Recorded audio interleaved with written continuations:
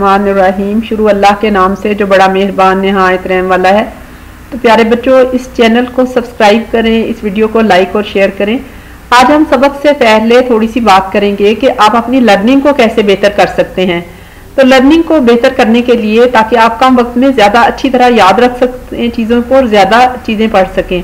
तो पहले तो जो आपका लेसन है या सबक है या जो भी आप बुक पढ़ना चाहते हैं जस्ट उसको एक नज़र पूरी देख लें।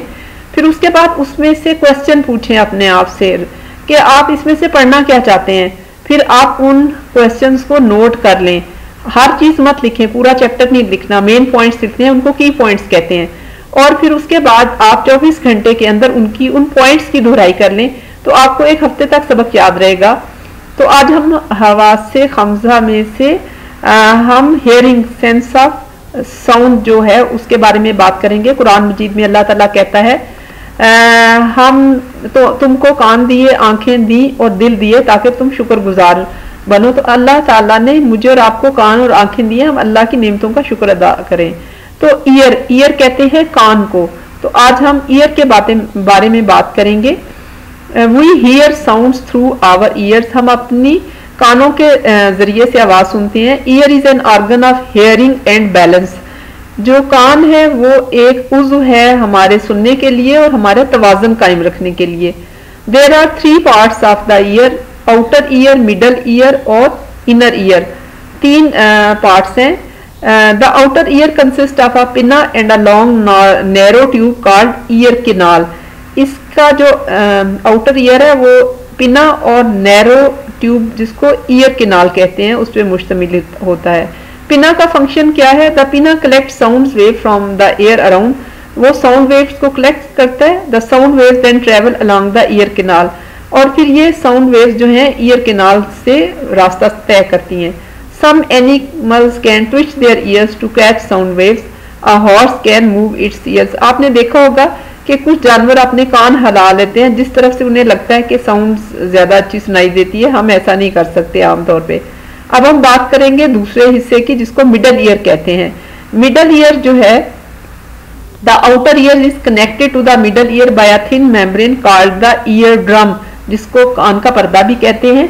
इसको ईयर ड्रम कहते हैं। ये एक छोटी सी झिल्ली है, जिसके लिए the ear drum vibrates when sound wave strike it जो साउंड वेव्स इस तक पहुँचती हैं तो ये थरथराहट पैदा होती है इस झिल्ली में। On the outer side of the ear drum is the middle ear which is filled with air और इसके अंदर हवा भरी हुई होती है। It has three small bones in the body that is hammer anvil and stirrup अब हम इनर uh, ईयर के बारे में बात करते हैं। ये सबसे अंदरूनी हिस्सा है कान का। The last part of the ear is the inner inner ear ये आखिरी हिस्सा है। The inner ear is filled with the liquid ये एक माया से भरा हुआ होता है। इसको लिम्फ कहते हैं और the part of the ear has a called structure called cochlea the cochlea is the actual hearing organ cochlea send signal to the brain through a special nerve called auditory nerve तो ये functioning of the year है कि sound waves पिना तक जाती हैं पिना से ईयर ड्रम में। फिर उसके बाद ये थ्री बोन्स को स्ट्राइक करती हैं, फिर कॉकलिया और कॉकलिया से नर्व स्टिमुलेट होती है, जो सिग्नल भेजती है ब्रेन को और हम आवाज़ सुनते हैं।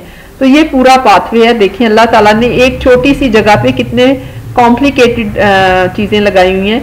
तो हमें कोशिश करनी चाहिए कि हम अपने कान से ज़्यादा छेड़छाड़ ना करें। अपने कानों को साफ़ रखें कॉटन बड से साफ़ करें पॉइंटेड चीज़ें पेंसिल वगैरह ना अंदर डालें। ज़्यादा शोर से भी अपने कानों को प्रोटेक्ट करें।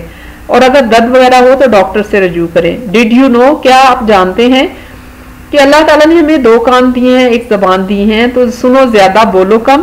फोकस रहने के लिए बोलने वाले के चेहरे की तरफ़ देखें और किसी की नीयत पे शक मत करें।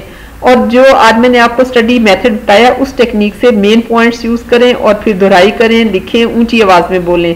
सब्सक्राइब करें चैनल को लाइक और शेयर करें।